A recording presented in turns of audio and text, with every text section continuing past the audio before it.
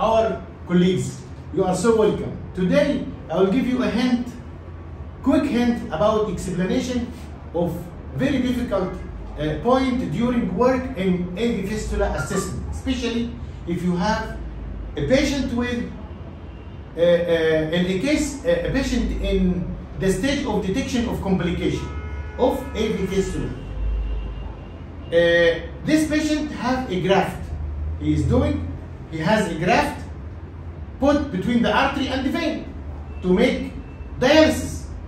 The exit of the graft, how to know that exit and what are the problems at that exit?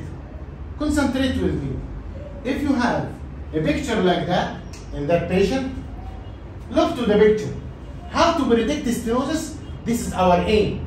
How to predict stenosis in AV fistula by a graft. Look to the end of the graft or to the juxta-anastomotic site or try to search at the exit of the graft or at the venous side of the graft.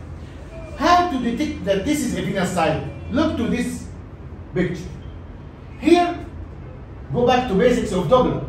I ask you to detect the direction.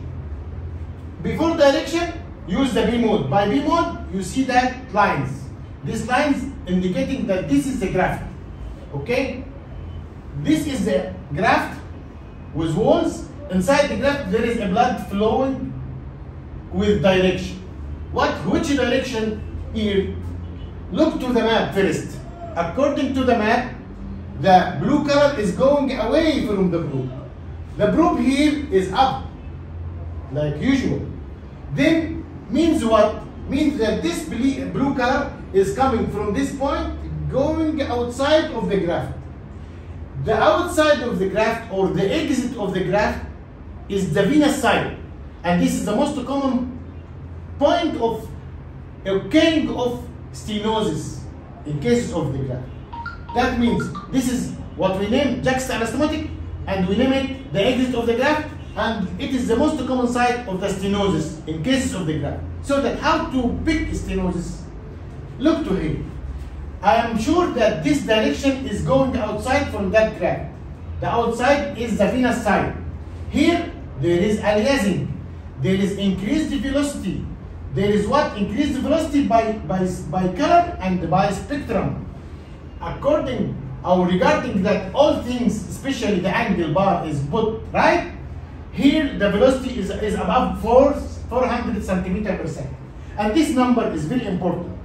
If the velocity at the maximum point of aliasing at the exit of the graft is exceeding or, uh, or nearby 400 centimeter, consider that this is a, stenotic or not stenotic, is a significant stenosis.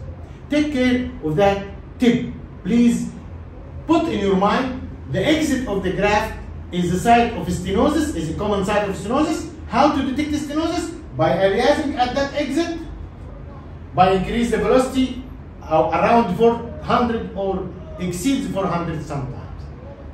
Thank you.